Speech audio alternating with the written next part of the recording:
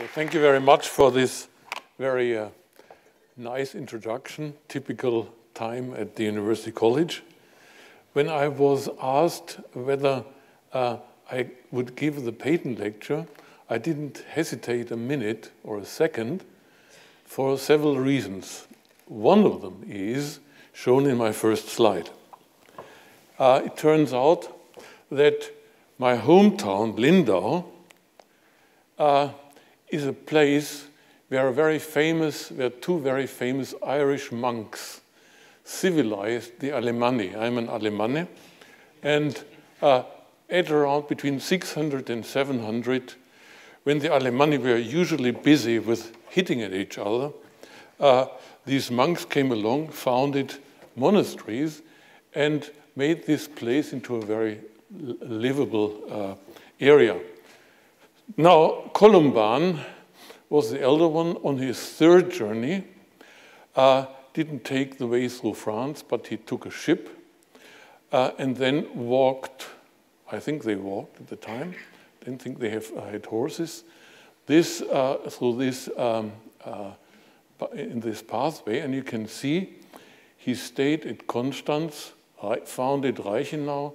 He also founded uh, St. Gallen with his uh, uh, chum, Gallus. Unfortunately, they, uh, didn't get along very well because it turned out that St. Gallus could speak uh, German, whereas um, Columbanus couldn't, and uh, St. Gallus was much more uh, successful. And this somehow uh, made it difficult for Columbanus. He, he went on uh, via the Alps to end up in, uh, in the monastery of, of Bobbio. So uh, when I heard that I'm, I have the opportunity to come to Dublin, I immediately dawned upon me that I would like to have, uh, find out whether there are some uh, indices, uh, some handwritten scripts for which the Irish are very famous, but it turned out that all the manuscripts, including those written by Columbanus, uh, had been gone. So uh, in this respect, this was a bit of a, a disappointment, but uh, I'll try nevertheless to find out where his the description of his, his journey and the mentioning of the Lake of Constance, where I can find that. The other uh, reason why I like to come here is the Physiological Society. Uh, I have been sort of civil, scientifically civilized in England at the University College uh, London, and the Journal of Physiology was always uh, our the journal to publish in. It's very different for the youngsters to publish in one of the tabloids like Nature or Science was not taken serious if there was not a follow-up paper in the Journal of Physiology. This has, sadly enough, changed, but this was uh, the common practice at, the time. And I did a, a, a, bit of a review. Most of my work, of my uh, that I take serious, is published in the Journal of Physiology. now, what I'm going to do um, today is to talk about uh, discoveries that relate to signaling in single cells and between cells in vitro. Then I will give you a brief overview of single columns, cortical columns, that is in vivo. And finally, uh, I will give you uh, an overview of uh, what we have been doing about cortical networks. The aim of all this is to find out whether these discoveries that we made during the 90s in brain slices are, so to speak, implemented in vivo. And this has, has kept me busy for the last uh, 20 years. Turned out much more difficult, but as the te techniques develop, um, one can uh, find out whether what we have observed in uh, a slice, a brain slice, is indeed implemented in the working brain, and more, more importantly, what is the function of these mechanisms. First, a brief description of the method. The work on in, in vitro is all done on brain slices taken from the rodent whisker system. Uh, the whisker, when it is deflected, signals uh, towards the uh, trigeminal nucleus. There it is relayed to thalamus and from the thalamus into a area which is called the vibrissal cortex. Now, in order to study the cells in the vibrissal cortex, there are two kinds of slices. One cuts a slice either along these rows of columns and ends up with a slice like this. This is called a thalamocortical slice. Or more conveniently, one takes a parasagittal slice. This is shown schematically here, where there is a uh, where the individual columns are preserved only partially. However, it has a number of advantages uh, for recordings that are not aimed uh, to explain the exact topology of a particular cell. Now, uh, Fred Sigworth said in the 90s that patch pipettes are more useful than initially thought. And this is true because uh, all the work I'm going to talk about uh, is done in the what's called the whole cell recording configuration from neurons of a brain slice in a dish. So we cut these slices, you have seen the last slide, put it in an experimental chamber, and use uh, patch pipettes to make contact with the surface membrane of, of, a, of a neuron. We uh, remove the patch of membrane that is uh, sucked into the tip of the pipette and then have low resistance and uh, have low resistance access to the cell uh, to the cell interior, which is perfect for round cells if you want to clamp it, that is measure currents. However, since the, the uh, neurons are characterized by these processes, uh, the only useful configuration of recording from a cell in a dish is what's, what we call volt, whole cell voltage recording. So it is a substitute for intracellular recording with the uh, additional advantage that we can rather quickly equilibrate the cell, the cell's interior with the pipette solution. How is this done? That's shown in the right part of this slide. That's the tip of a patch pipette. One applies a pressure on the uh, back of the pipette. This sort of cleans away the, uh, the uh, axons and the glia, then touches the membrane, uh, removes the suction, and in many cases immediately a patch of membrane with a high uh, seal resistance is sucked into the patch, into the tip, and then applying a, a, a, bit of negative pressure gives you complete access or gives you low resi resistance access to the cell with the advantages I mentioned of a low resistance and the possibility to exchange or substitute the cell interior with the pipette solution. so this is uh, uh, how we began. Now, the first thing when I saw these uh, beautiful cells in slice, I was wondering what is going on in this apical dendrite. There had been some suggestion that it's electrically excitable. The consensus was, however, that, a, uh, that it is a passive membrane.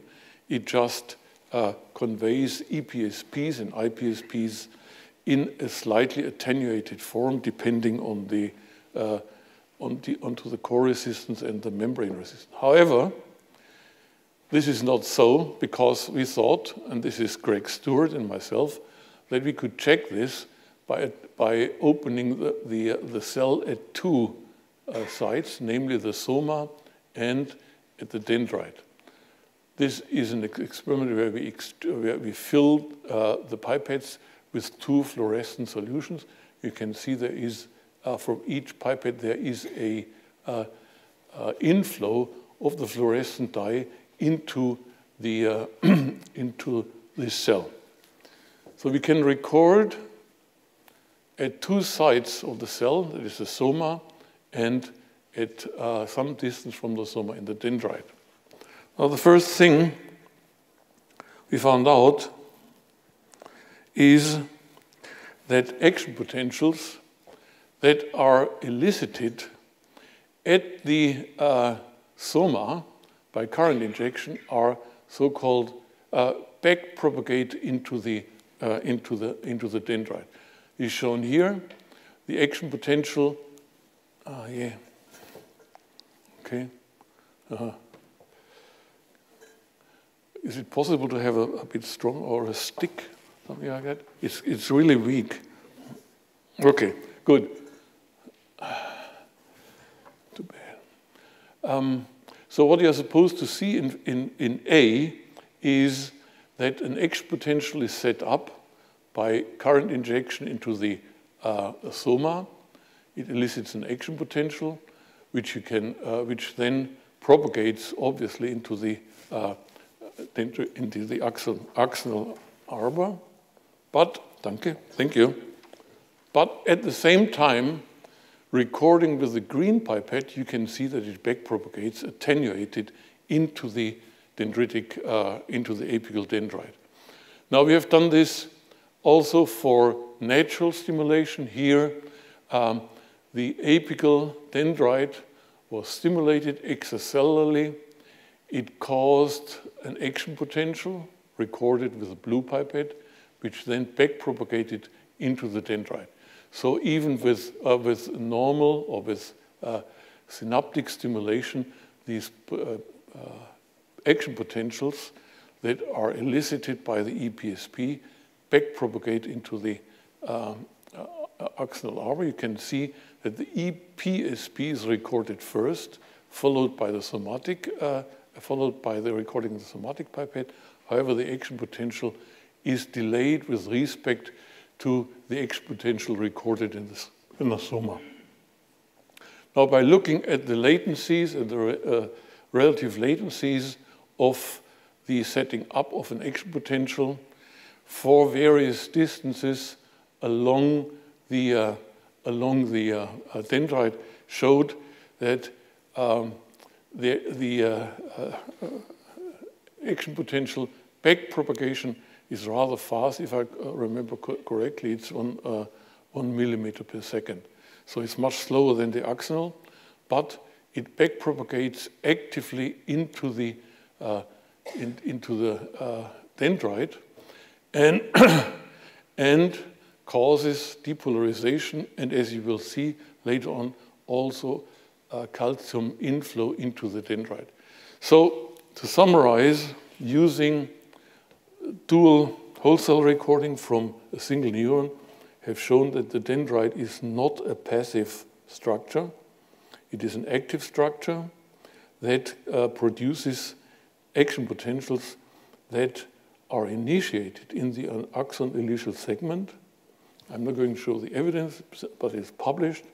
Uh, and then this action potential propagates forward into the axonal arbor, but also backward. So whenever an action potential is initiated in a cell, both ends of the cell, that is the dendrite and the axon, are, uh, are subject to a brief depolarization. It is as if both ends, the receiving end and the, uh, uh, and, and the um, sending end, are informed uh, that an action potential uh, has occurred at the soma, actually the axon initial segment.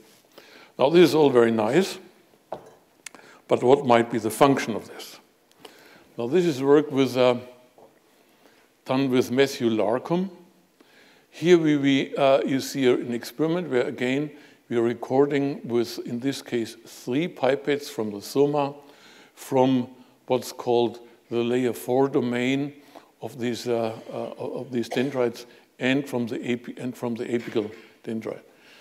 Now, in this part of the slide, you see that stimulating the soma with current injection generates an action potential, which obviously is traveling back. You can see it's first uh, recorded with the green and then with the, with the uh, uh, red pipette. If, however, we combine this action potential with current injection into the apical dendrite, we find that, this, uh, that the frequency of action potentials is tripled. So all we did is use uh, current injection into the soma and combine it with a uh, current injection that has a shape of an EPSP or creates the shape of an EPSP, and we get, uh, instead of one action potential, we get three action potential. We've called this uh, coincidence, the, capability of this cell for co coincidence detection. To make this a bit more lively, I have a, I'm going to show this, how this has happened, how this is happening, because it turns out that this is a very time-sensitive process. So what you're going to see is the current injection into the soma, which creates an, uh, initiates an action potential, and this remains constant. Now we uh, inject the current via the apical input at different times with respect to the current injection at the soma. So you will see this EPSP-like potential wander uh, in this direction, and you will see that at, for, for, a certain distance between the input to the basal unit, to the basal input and the apical input, there is a tripling of action potentials, which then subsides when the distance between the two current injections is too large. So now watch. Action potential, action potential, action potential. Now doubling, tripling, back. So what is happening is the dendrite, because of its electrical excitability, can act as a coincidence detector for inputs arriving at the basal input and at, uh, at the basal dendrites and at the apical dendrites. And this is sensitive, very time sensitive, this uh, effect uh, is seen within about 50 milliseconds. So we have a, a device, these layer 5 neurons are, are a device to sense coincident input to different parts of their uh, apical dendrite. now, we've been working, uh, and this is published in the Journal of Physiology, that's the full paper. This is, uh, what you saw here is uh, published in the tabloid um, happens to be Nature, and this is the proper, uh, uh, proper uh, publication in the Journal of Physiology. Now, I don't want to go into the details. What we found out is there are three potential uh, initiation sites, which we call A, B, and C. And by combining inputs into different combinations. For example, C and B, one can uh, elicit bursts of action potentials. So what you see here is a current injection into uh, C causes a single action potential. If it's combined with B input, uh, with a subthreshold B input, then uh, the number of action potential is tripled. So what this means, it's not only a time-sensitive device, this dendrite, but it's also sensitive to the location of the inputs.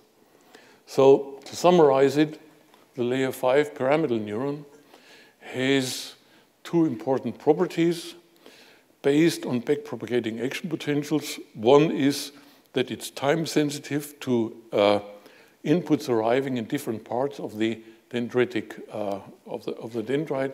And second, it also senses the location of these, uh, of these inputs by generating different action potential patterns. now, so this was the second uh, discovery we, we, made, that is backpropagating action potential, and as a consequence of this, the uh, capability of the layer 5 B cell to detect uh, coincident input.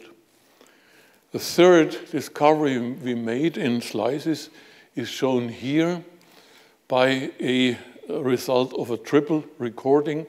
We are recording from three cells. One is a driver cell, it's a pyramidal neuron, and these are two inhibitory cells.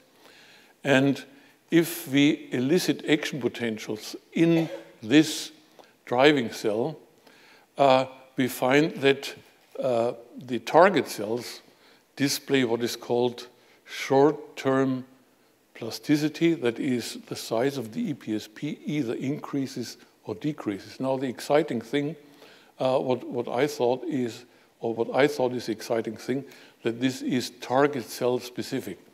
So we inject a, uh, current or elicit action potentials, um, in this case of about 10 hertz, I think. Um, wait a second. Uh, yeah, uh, and record from the two target cells.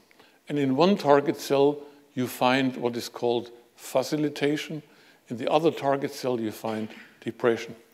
So the effect of trans on transmission of an uh, action potential burst depends on the target cell. Actually, this is not our discovery.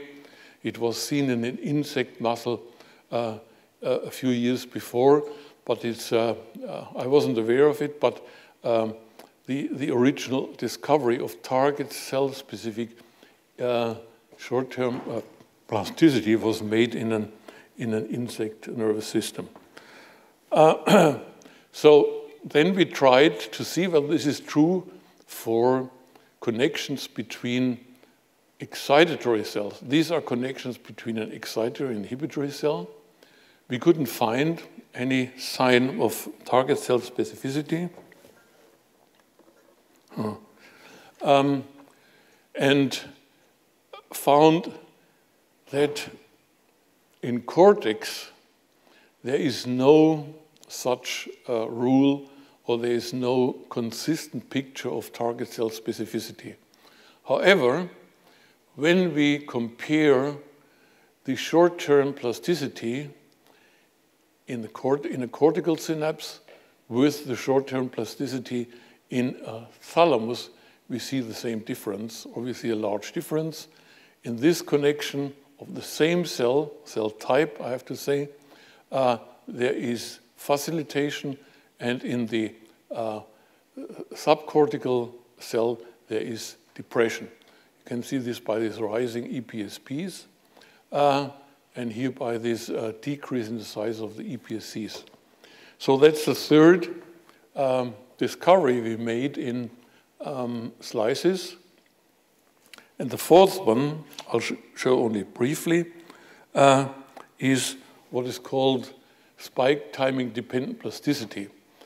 Since we could record from several cells, I was wondering what is happening if uh, an action potential generated, let's say, in the red cell and making a synapse with a blue cell is combined with a backpropagating action potential in the blue cell, asking the question, if you have action potentials of neighboring cells, in one cell it is uh, traveling, or we look at the uh, effect in the dendrite, in the other cell we look at the effect on, on in the axon, and what we find is that depending again on the time window, there is a increase in synaptic coupling or a decrease in synaptic coupling, which critically depends on the occurrence of these action potential bursts.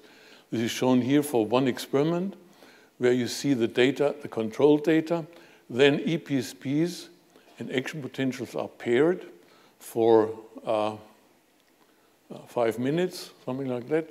Um, and as a consequence, you see a permanent, or let's say, um, an increase in the EPSP size that lasts about one hour before the preparation usually uh, deteriorates.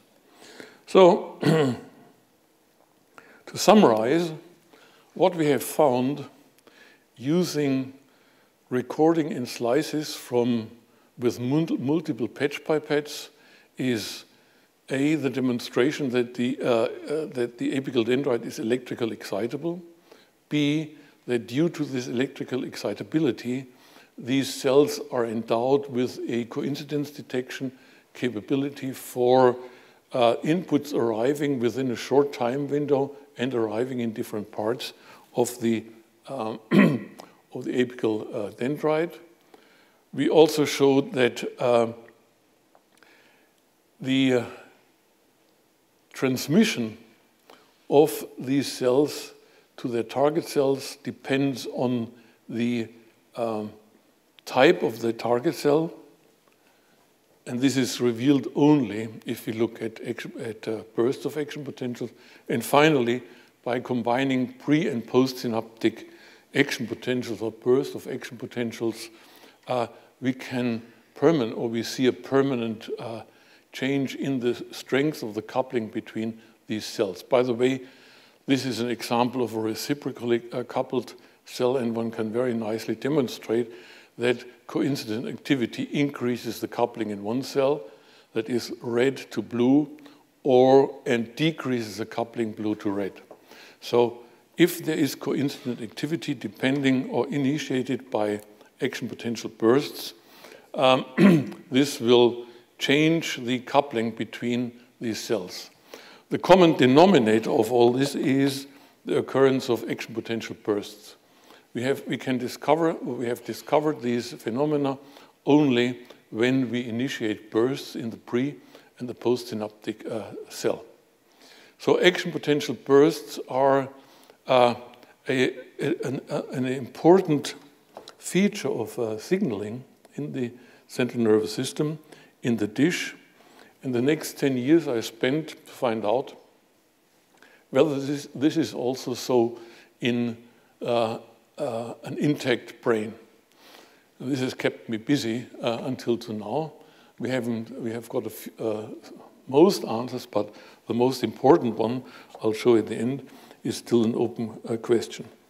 So before we move to uh, this checking of mechanisms that we have discovered in a slice, well, this is implemented in the, uh, in the uh, living brain. I have to give a brief introduction of what is called a cortical column. Because we want to study interaction between cells in their natural environment. And this means recording again with the patch pipette from individual columns in the uh, S1 area of uh, the rodent whisker system. This is shown at different magnification. That's an overview. Uh, we um, deflect the whisker and record the EPSPs and action potentials with a patch pipette. Since this is done blindly, and it is essential to find out which type of neuron uh, we were recording from. You'll see that this depends very much on the type of neuron. Um, uh, we have to, uh, we fill the cell, cut up the brain, and then reconstruct it and register it into a standard frame. This is shown for this particular cell. It was recorded, it was a layer four spiny stellate cell. Maybe I should first say uh, a column is subdivided in three parts. This is called supragranular, granular, and infragranular. Now we are recording here from an infragranular, from a um, granular cell. Causes uh, whisker deflection causes an X potential plus EPSPs. We fill them, and then uh, find out that we have been recording from a spi spiny stellate cell. These are these yellow or ochre cells.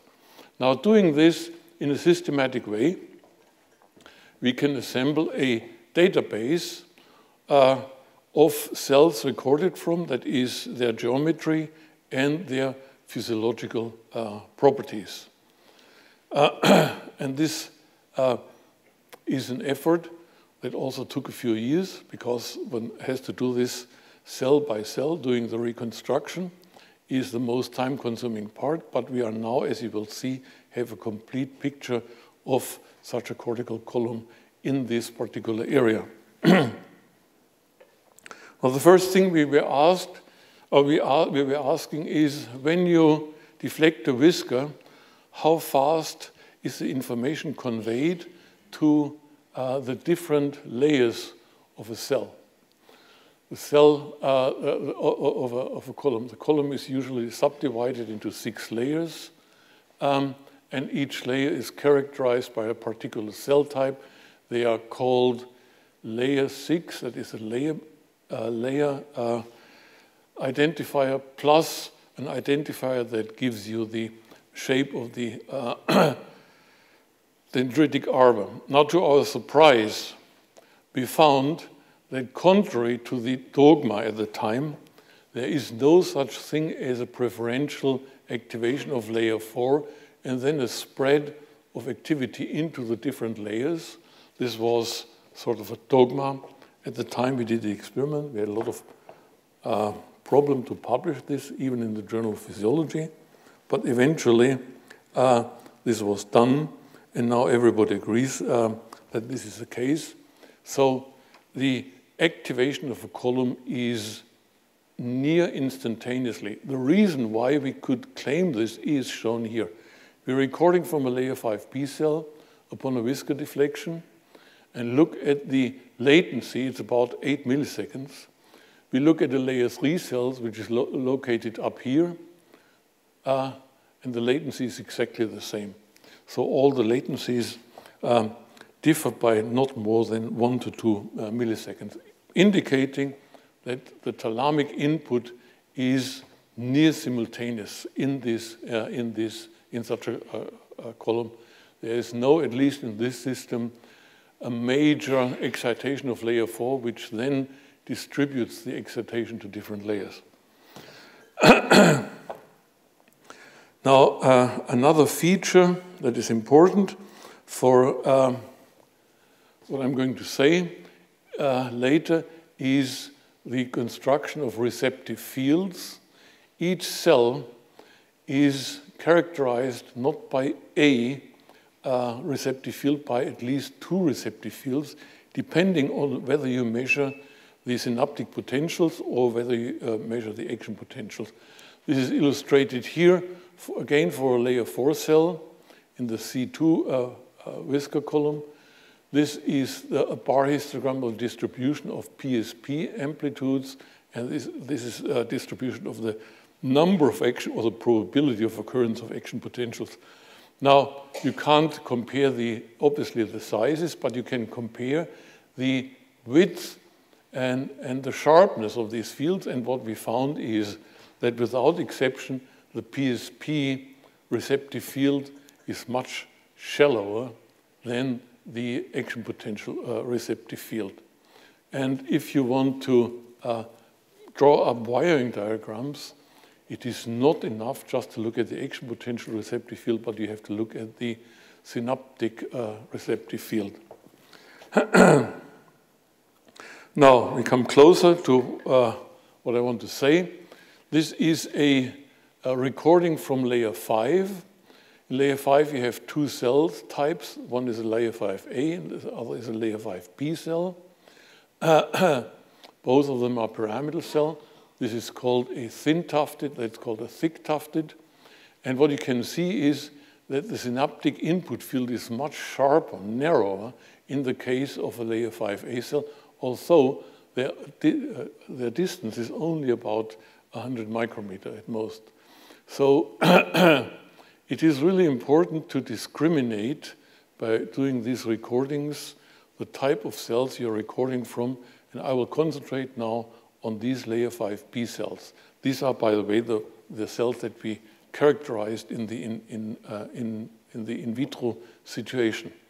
Now, they are characterized by a broad receptive field at the input level, meaning that you can elicit a response in this particular cell not only by deflecting the principal whisker, but also deflecting these surround whiskers. And they give a response which is almost as large as the principal whisker, meaning that the discrimination of this cell for the location of the stimulus is very bad, or basically absent. Uh, an observer who would um, uh, you know, listen to the or see the PSPs elicited by different uh, by deflection of different whiskers would not know which whisker was deflected, which is very different in this case. The largest response is always due to the deflection of the principal whisker. Now, these layer 5 cells have not only a broad uh, input receptive field, but also a very broad output receptive field. This is, again, a bar histogram of the probability of responses upon a, a whisker deflection. And you can see the discrimination. This is a principal whisker. These are the surround whiskers. The discrimination is very, um, is very uh, uh, low. The difference is very low. However, these same cells have the largest action potential output. What you see here is the summed number of action potentials elicited by a whisker deflection four different um, cell types in a column. This would be the supragranular cells. These are the granular cells, and these are the thick tufted infragranular cells. And you can see that layer 5B or layer 5 thick tufted sticks out as that cell type that dominates the output of a uh, column. Another observation that we made, and this relates to the fact that in layer 5, in, in these layer uh, 5 thick tufted cells, we can elicit bursts of action potential is that both in the spontaneous activity as well as in the stimulated activity, that is, we are looking at the action potentials um, and look uh, and, and ask the question how many of them occur as bursts. A burst is defined as a pair of action potential or a triple of action potentials not uh, that are separated by less than 10 milliseconds. And you can see that these layer 5 uh, B neurons in the intact uh, cortex have a rather high percentage of these uh, burst-like uh, responses.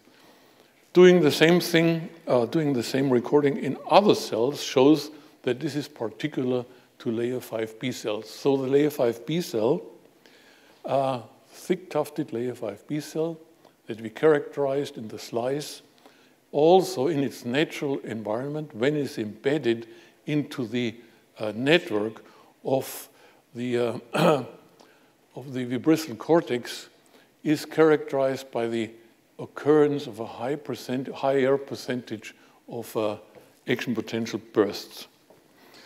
Now, one question we were asking is, what could be the functional significance of the occurrence of bursts in these layer 5B uh, cells? And this becomes obvious if one looks at the downstream target cells of layer 5 B cells.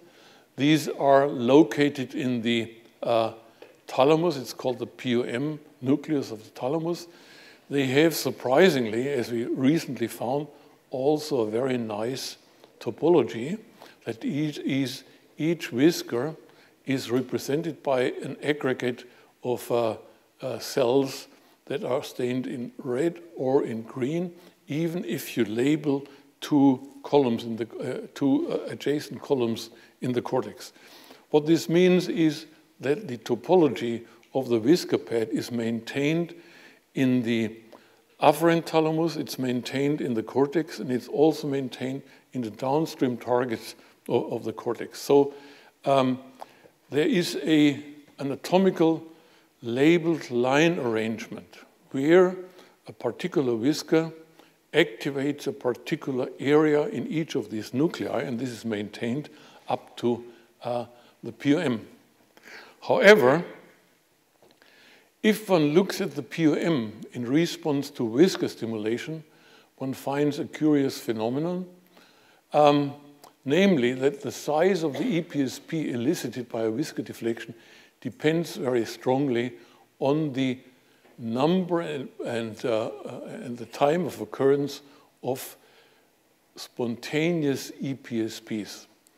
This is graphed in this uh, form, the normalized EPSP amplitude in response to a viscous stimulation increases as the distance between a spontaneously occurring EPSP and the evoked EPSP gets longer. So for 100 milliseconds distance, you have the full EPSP. At 10 milliseconds, uh, the size of the EPSP is decreased to about 40%. Uh, now, what does this mean for information transfer? It means that uh, in this particular pathway, downstream of layer 5 B cells, uh, the occurrence of bursts makes sure that information is transmitted.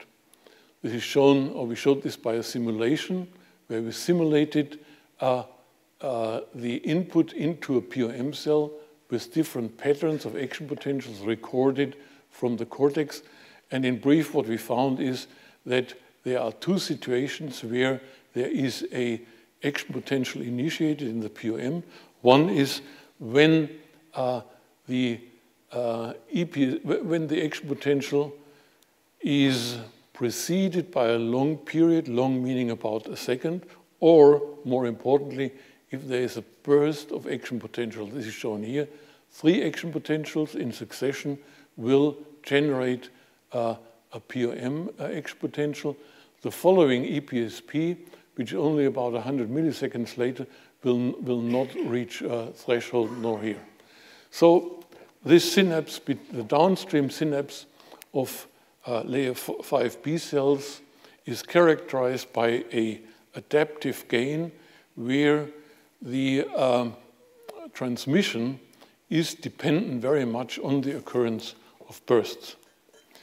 So, to summarize, what we have found is that in a slice, there is a particular, there are particular ways to, uh, to uh, elicit exponential bursts and recording from these layer 5 B cells in vivo, we find A, that they are occurring in vivo, and B, that apparently one important function is to ensure transmission from the layer 5 B cell in the cortex to the um, uh, uh, thalamic, uh, to the thalamic cell, as I've shown here.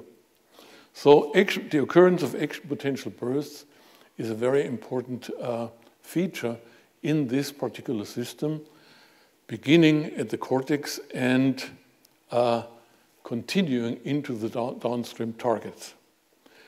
Now, the main question, which I have been struggling for many years now, is what could be the input, which could be the inputs into layer 5 B cells that generate such bursts. In the slice, it's easy, we just stimulate. In vivo, we first have to reconstruct the environment of these layer 5 B cells. So what we did is we reconstructed thalamic neurons in that project into a column. Shown, these are these black, uh, uh, black traces each uh, uh, uh from about 20 um, thalamic cells superimposed on top of each other. And here you see what we call a dendrite column. This is uh, the cells of a column with their uh, dendrites attached and they're colored in different, they are shown in different colors. And the combination of the thalamic afferent and the cortical dendrites we call one building block of this system. It's called the thalamocortical unit. The other, the other um, building block is called the IC unit. This is defined by uh, all cells in such a column, but with their axons um, attached. But you can see immediately that the dendritic column is restricted basically to one column as we see it in histological stains. The uh, IC unit that is with all the axons uh, attached has a uh, hour-shaped, hour-shaped, uh, uh, hourglass shaped, but it extends its axons into the next and, and the, in the neighboring and the post-neighboring uh, axons. So there is no such thing as a column if, uh, uh, of an isolated column if one looks at the complete reconstruction of dendrites plus axons. These uh, IC unit, as we call it, comprises about nine columns plus the septa between. These are the outlines of individual columns that uh, we obtain by using histochemical stain. Each of these columns would have a dendritic distribution like this, but you can see that they stretch over several columns. Now, having reconstructed, we can now ask the question, which axons uh, contact layer 5b cells, these are the cells with bursts, uh, just by stripping off all cells out of these two, two units that are not layer 5b cells or uh, uh and, uh, well, and uh, that are not layer 5 B cells. And what you can see here is that the thalamocortical uh, projections superimpose partially with layer 5B basal dendrites. This is uh, quantified in this, in these two curves. This is a 1D density profile of the VPM projections and this is a 1D projection, uh, 1D density profile of uh, the, uh, of the uh, dendrites, you can see there is a, a, substantial overlap between VPM neurons and layer 5B. Uh, now, this is all not so impressive uh, because most of the thalamus is really projecting into layer 4. The thing is very different, however, if we look also at the other part of the thalamus, it's called the POM. POM is also projecting into the cortex, where we uh, superimpose onto the dendritic profile the profiles of the POM and of the VPM. And what you can see quite clearly is that for this type of cells, there is a difference in the innervation of the apical dendrites, mostly innervated by POM, and uh, the basal dendrites, which is mostly uh, innervated by VPM. So this is one indication that coincident input to these layer 5 B cells could arrive from activation of the two thalamic nuclei, VPM and POM, because VPM excites the lower initiation or the uh, soma closed initiation zone, and this excites the apical initiation zone, uh, as, we, as you have seen this in, in the slice experiment. However, things are even more, more complicated if we look at the cortico-cortical connections. So here you see a superimposition of the axonal arbor of layer 6 cells with the dendrites, uh, of layer 5b cells, that is the cross innervation between these two, type, two cell, cell, types and with the layer 5 uh, slender tufted. Now what you can see is if one uh, calculates the 1D density profile is that for cortico-cortical innervation, there is also a division of innervation between layer 6 and layer 5 uh, and layer 5 thick tufted, which mostly innervate the basal dendrites and uh, the layer 5 thin tufted, which mostly innervate the, uh, okay,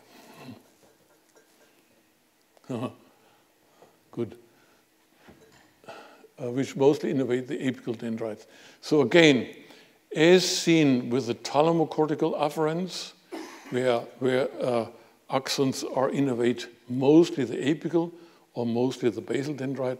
For the cortico-cortical uh, projections, there is also a difference innervation uh, of layer 5 uh, of the layer 5 B cells in the apical and in the uh, basal dendrite. What this means is that there are multiple combinations of inputs from both the thalamus and from uh, the cortex, from the uh, uh, IC unit, that could be responsible for coincident input. The question, which we haven't answered, and this is uh, our major question, is which combinations of these inputs are active in an intact animal when coincidence detection is uh, occurring. There are indirect evidences that coincidence detection is indeed seen in the behaving animal. This is due to calcium uh, imaging. However, the source of these two uh, of these inputs is not known. An educated guess that we are following is that one uh, type of input comes from the thalamus. It activates the basal dendrites, and the other type, uh, uh, the other innervation of the apical dendrite is due to the layer 5A cells.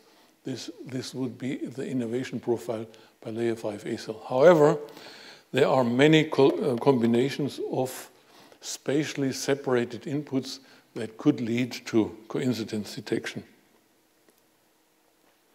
Now, to summarize, what we have found is that with respect to the network of this uh, system, there is a very stereotyped input, as if one looks at the action potentials generated in the uh, thalamus, in the afferent thalamus. This is the uh, uh, output map. It's almost a single, single whisker map. It's due mostly to large EPSPs followed uh, briefly by an IPSP, which produces a very sharp input. Now, this is transmitted to the cortex. The cortex has also a weak EPSP, which is broad. And if you look at the distribution of, EP, of EPSPs uh, or at the uh, uh, action potential distribution in, this, um, uh, in these cells, you find a very unspecific representation. However, as I showed, to you, showed you, the output of these cells is characterized by the occurrence of spikes. About 15% of all spikes are part of a burst of one or two or three or even four action potentials. So layer 5B in the cortex loses the specificity of representation in the VPM, becomes rather unspecific.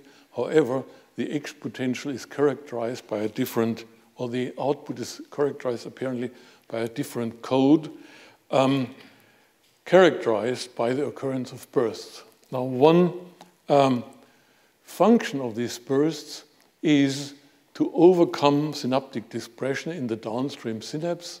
Uh, this is from a POM cell. I showed you that due to this uh, uh, depression or this adaptive gain, only uh, EPSPs are elicited of a large, of a size large enough to elicit an action potential when they are not preceded by the ongoing activity. So the ongoing activity in the cortex sort of controls the gain in this particular synapse. And this uh, gain, or, uh, even if this gain is low, it can be overcome by the occurrence of bursts. To summarize this, uh, what you have seen in the previous slide is uh, a VPM module that has a very precise projection uh, it projects into a column. The column has a very imprecise projection, and this is due, I don't want to go into this, but it's due to the large axonal arbor of the layer 6 corticocortical cells, which smears out the projection. However, they uh, uh, change the code, the action potential code, to a code that is uh, um, that contains bursts, and this uh, action potentials that contain uh, bursts can overcome the ongoing de depression in uh, the POM. So what is happening is apparently a very precise representation with a rate code is transformed into a very imprecise uh, representation, however, with a different code, and this code is read preferentially by at least one type of target cells. So what this means is that the, that the column or the layer 5 cells in the column are sort of hubs that change the representation uh, by changing their output uh, code. And this is uh, probably true for these other downstream targets. We're just working on these. There's also a very clear representation.